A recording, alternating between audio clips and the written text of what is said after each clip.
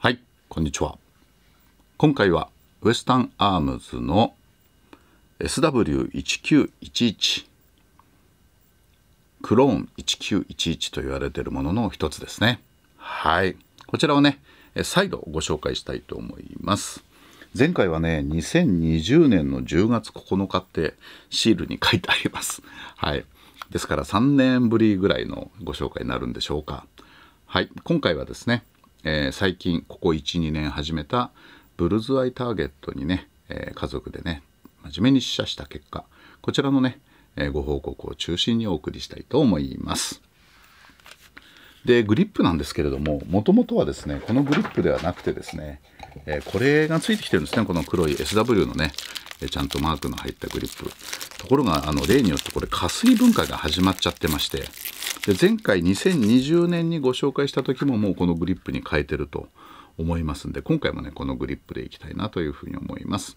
シルバーの肌にね、え黒いねこの、えー、樹脂をコーティングした、え、ウェイトグリップ金属グリップよりもねこちらの方がね味があるかななんてね私の好みでそうしてあります、えー、先週になりますかね、えー、シグの方のねクローン側ご紹介しましたけれども、まあ、それをやっているうちにね SW もあったよなみたいなね。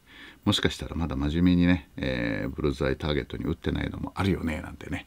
どんどんどんどん自分の中で、えー、妄想が膨らみましてこれだと思ってね引っ張り出したものでございます。お気に入りのポイントはシグのもの同様この外装的式のねエキストラクターですね。はい。それとやっぱりなんかなんか SW の香りが漂うっていうね。何ともうまく言えないんですけれどもね。はい。この辺りのね前回紹介した時気づいてたかな？この削り込みとかこういうのね。まあ凝ってますね。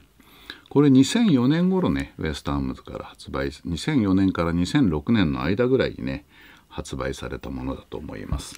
前回ご紹介したかどうかはこうちょっと定かでないんですけれどもこれはね2020年の時に紹介させていただいた5メートルからの試写結果、はい、で、えー、その前にねこれ購入した頃のやつですね。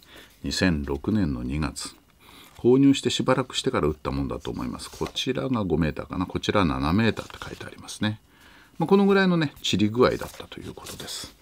でホップ調整がですねこれはですね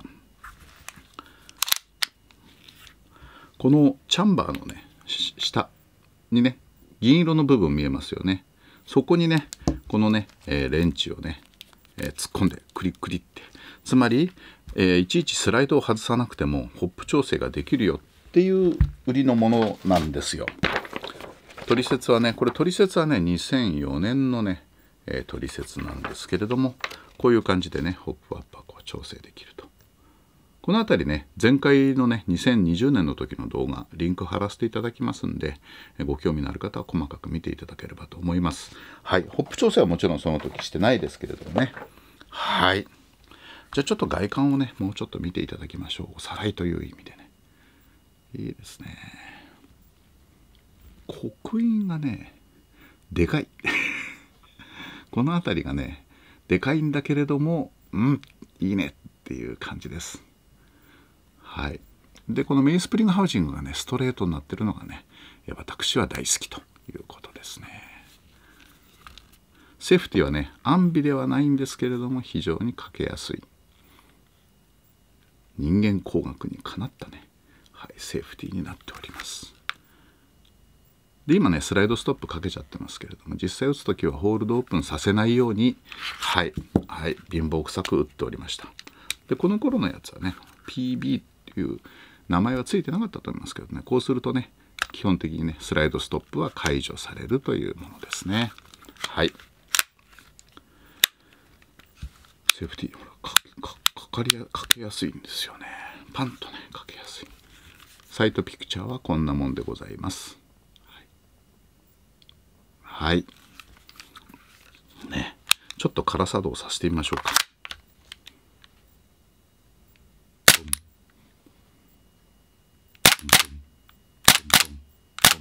いい感じですね。おさらいの意味を込めてね重量初速なんかも測っておきましょう。ポン。グリップがねウェイトグリップじゃないんでね 800g ですね。はい。このグリップ乗せるとねこれ自体でね200ありますから1キロ近い重量になったということですね。あの販売されている状態のままでしたら。じゃあ初速です。ガスはねたっぷり入ってると思うんでね。あ。その前にトリガープルもね当時は測ってないと思うんで。はい測りましょう、測ってたらごめんなさいですね。同じことを繰り返すことになります。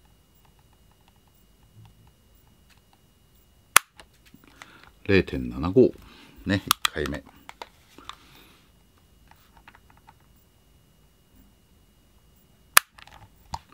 0.73とこのぐらいなんですけれども、まあ、こちらで引き代調整できるんでねこれねもうさフラナバーおちんって感じになってます。これぐらいですかそうじゃなくてくっちょんって感じで。結構ね私もせがれもねダブルタップをしてしまいましたね今回ね、い、いやなかなかいい銃なんですよ実は。はい。ですからねあの試射をしてても本当に楽しいとはいけない。お約束でしたね。手ごめしましょう。余裕のある時は。はい。えー、初速3発ぐらい測ればいいと思いますね。リップはもうね、樹脂になもちろんなってる世代ですよね。はい。3発ぐらいでよろしいでしょうか。ね。で、はい。なんか今落ちたな。ほこりかな。はい、じゃあ打ってみます。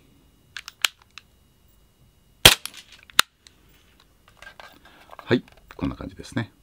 室温がね今ね26度ぐらいですね。はいこのぐらいです。0.64ジュールと0.66ジュールやっぱばらついてんだ。はいこんな感じでね。はい0.6664ですから。はい規制のね全然範囲内ということで、はい楽しく遊べる銃ということになります。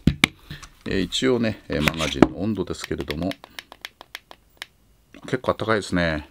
はい、表面温度で29.7度あります。あったかいですね、これはね。はい。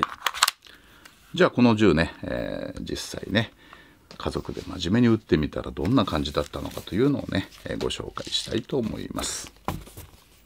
じゃん。ね。先般のね、えー、っとウエストアームズの製品だと M84 が、えー、これの直前かな。に比べるとねはいどうなんでしょうかっていうところが中心になるかな。なかなかねスコア的にはいいんですけどやっぱり散ってますよねそこそこね。はい。先ほどのねこの2006年の時のねやつとまあ似たようなものになっていますね。で7.5メートルなんですけれどもまあ大体この的にえっ、とねかみさんは下の方に当たっちゃったか横だな。で私は一応5入れてますけどもこれが外れてると。でせがれはどこ行くんでしょうかみたいな感じでしたね。結構ね暴れる感じがしたんですよね。はい。で5メートルの方もうこの辺こうグッとねいい感じで集まってますね。練習のしたと練習した時とねあのホップの状態変わってきましたね。チャンバーにオイルはねついてないと思うんですけれどもね、から5メートルの左の片手でもいい感じですね。そして最後7.5メートルの右片手ですけれども私が一番ダメでしたね。かみさんは5発このぐらいのサークルにまとめて。私はね下に行っちゃいましたね2つがね。結構下を狙ったんですよ。この5番ギリギリぐらいを狙ったんですけれどもでせがれもちゃんと5発この中に入っていますと。いうことで平均がね25.6ということで25以上っていうのは我が家ではいい方なんで思った以上に良かったなという感じですね。そして5メートルからの集団ですけれどもはいサークルだとみんな同じぐらいに集まってるんじゃないでしょうか。私が一番ダメっぽいですけどね。はい。ということで、まあ、まずまず当たる銃ですけれどもいつものウエスタンアームズのま安定した状態でねこのぐらいでしょうっていうものよりはちょっとちっちゃったかなという感じがします。まあ、それでも私の場合これはもうね、はい、もう見た目でということで、えー、我が家のリビングの割と引っ張り出しやすいところにこいつはいつも、えー、しまわれていて折に触れて引っ張り出して、ね、酒の魚になると。ほとんどねその時にはガスで空作動なんかもしないですね。持って遊んでみたいな感じで終わっちゃうことも多いです。はいこれのね黒も確かもうご紹介してあるはずなんですけれどもねついこの間ねご紹介したかななんて勝手に自分では思ってたんですけれどももう2020年の話なんですね。ということは、えー、動画をね再開してからですねもう3年以上経ってるのかみたいな感じでついついねしみじみしてしまいます。まあ、これだけ続いたのもねはいひとえに、えー、いつもご視聴いただいている皆様のおかげと、えー、感謝しております。あとはやっぱライブですね。はい、モチベーションが非常に上がっております。ということで、えー、今回はウエスタンアムズの、えー、2004年から2006年ぐらいの頃のモデルだと思いますけれども SW1911 シルバーですね。はい、こちらの方を再度ご紹介させていただきました。ではまた。